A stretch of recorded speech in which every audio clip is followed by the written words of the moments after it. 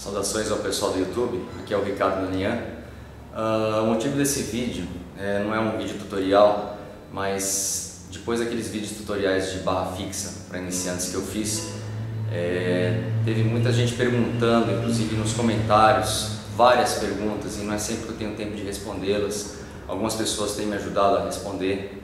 Tá? Então eu estou usando esse vídeo justamente que eu selecionei algumas perguntas que eu acho que foram a maioria das pessoas que fizeram que acho que vai servir de comum acordo para todo mundo e está respondendo num vídeo só todas essas perguntas fora a explicação que eu deixei no, no, no próprio rodapé do vídeo. Tá? Então vamos lá, a primeira pergunta.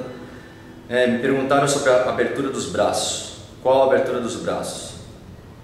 Depende do concurso que você vai fazer. Se o concurso fala que é para ser largura do ombro, que seja largura do ombro o pessoal sempre vê eu fazendo barra aberta, é que eu estou acostumado desde pequeno a fazer aberta, que me falaram que fazer barra aberta pega mais as costas.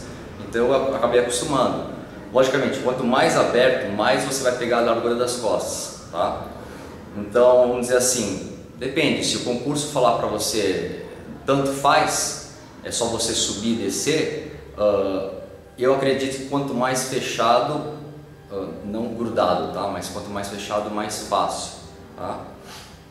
Uh, outra pergunta, a musculação ajuda? Ajuda em termos. Uh, o puxador nas costas ele, ele ajuda porque ele também trabalha com o mesmo tipo de exercício.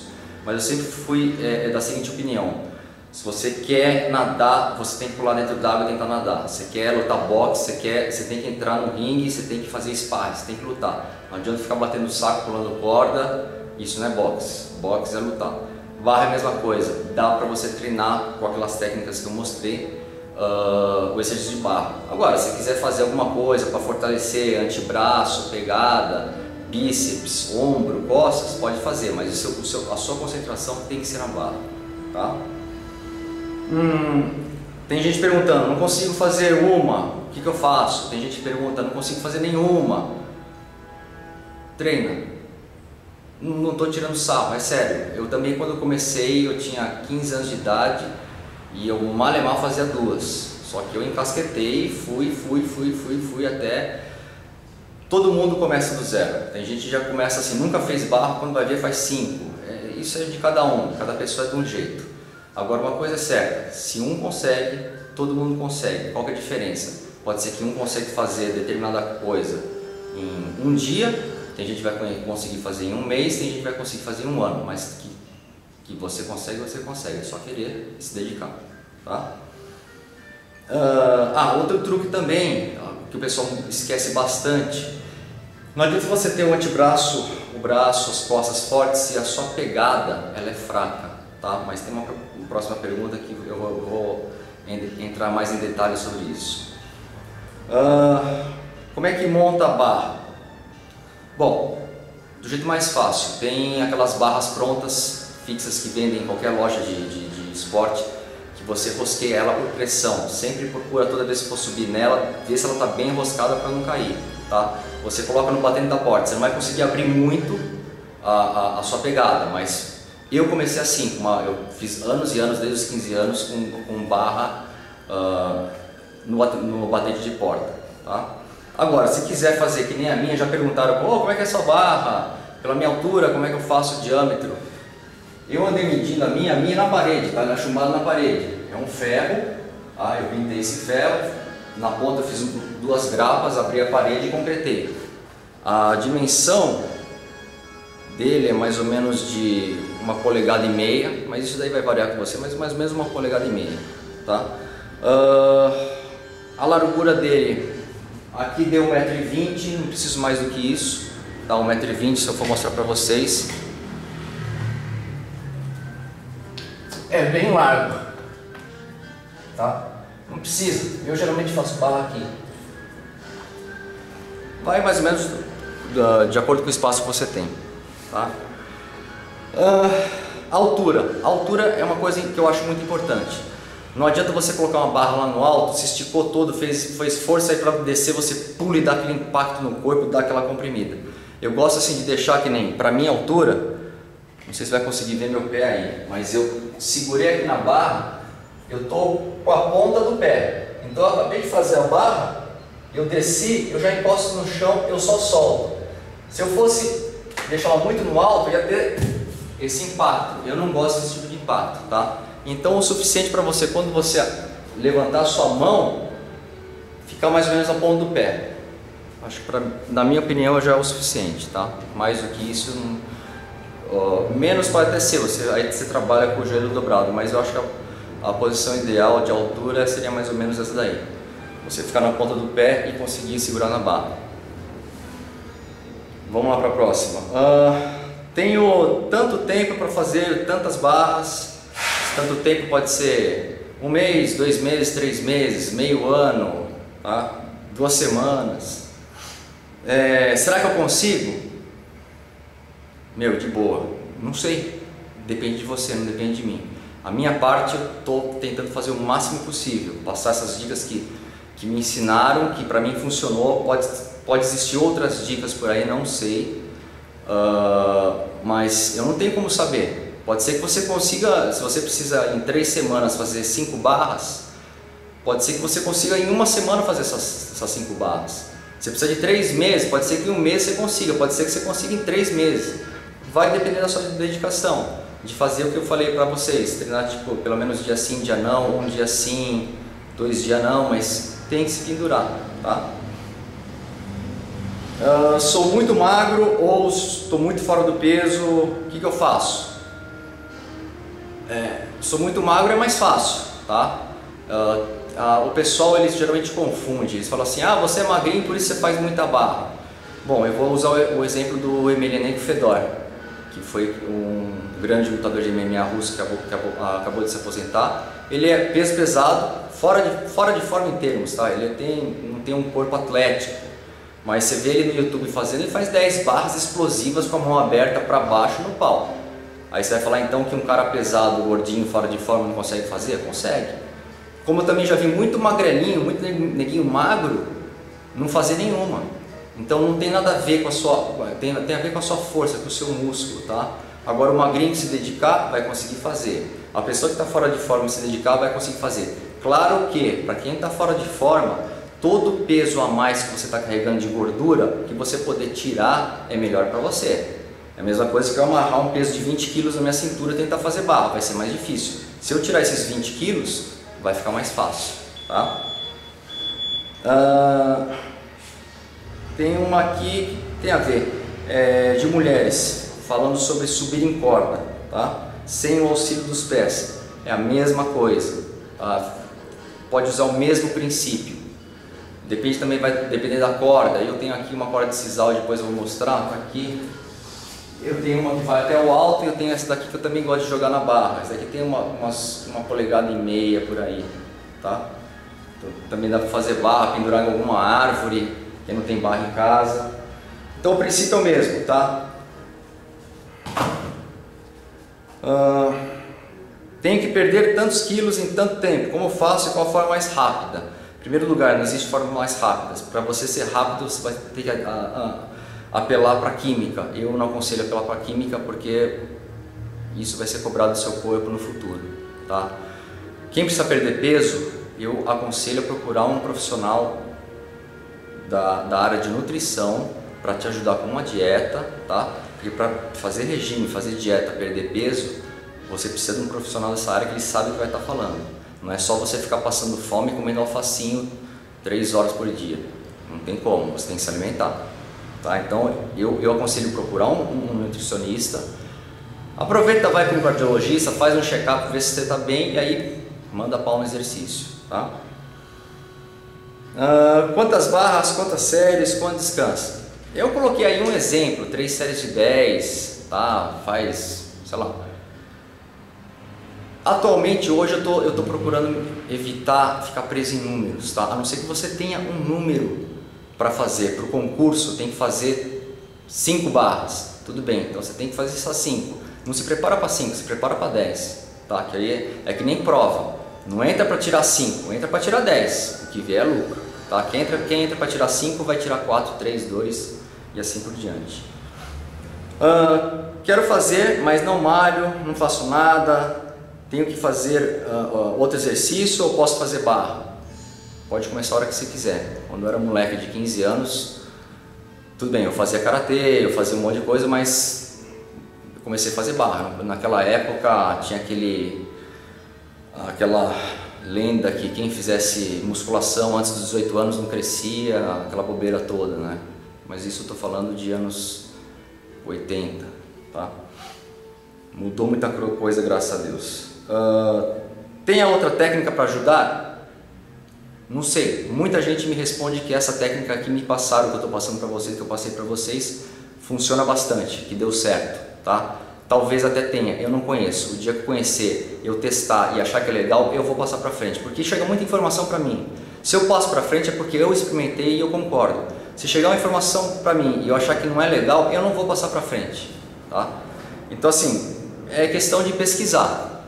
Mas assim, uma técnica que pode ajudar foi o que eu falei para você da pegada. Vamos, vamos, vamos focar nesse assunto agora.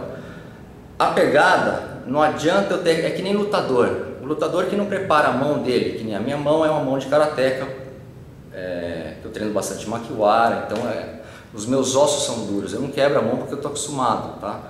Agora, não adianta nada ter um soco poderoso se a área do meu impacto, que é a ponta da minha mão, ela é mole. É uma coisa que você pegar um pedaço de ferro e colocar uma esponja na frente. A esponja não vai fazer nada, tá? Então, assim, uh, pode ser que tenha gente que tenha muita força para fazer barra de braço, tal, só que não tenha pegada, começa a escorrer. O pessoal fala assim: ah, escorrega. Pode escorregar por dois motivos: por estar molhada a mão, você vai seca, ou você pode arrumar. Eu esqueci o nome, eu sempre esqueço o nome desse negócio que eu tenho aqui, que é aquele, aquele pozinho branco que o pessoal de escalada usa, tá? Que ele serve para. Ele tira a umidade da mão. Faz um pouquinho de sujeira, mas ele tira a umidade da mão.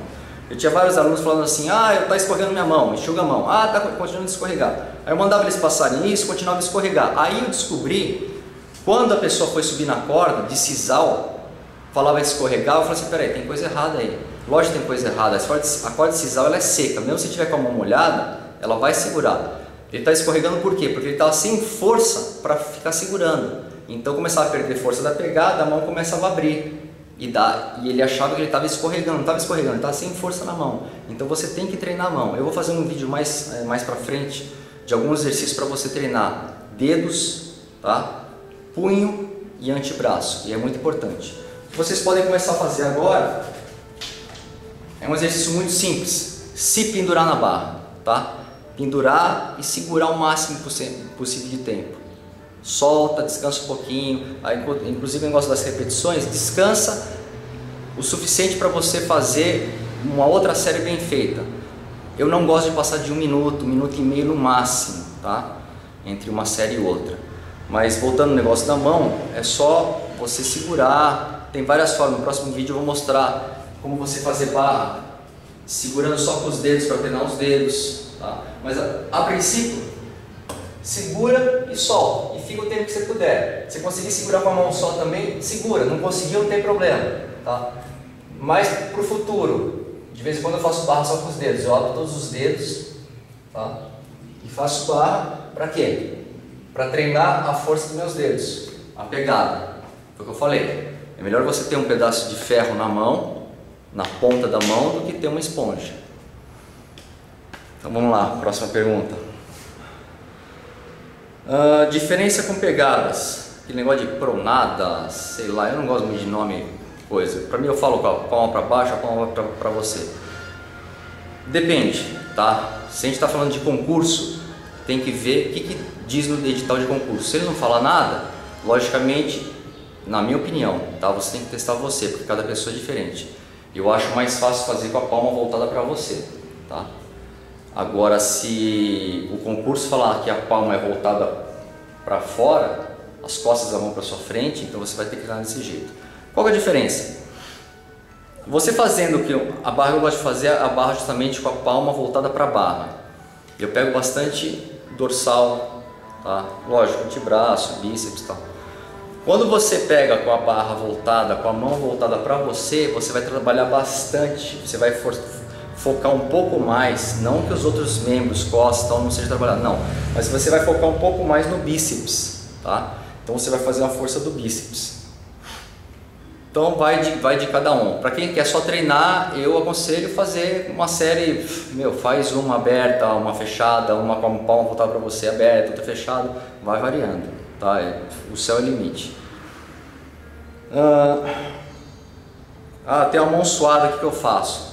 Seca a mão, usa esse negócio aí ou ver se o seu problema não é problema de força. Não, tem uma pegada muito boa, é forte.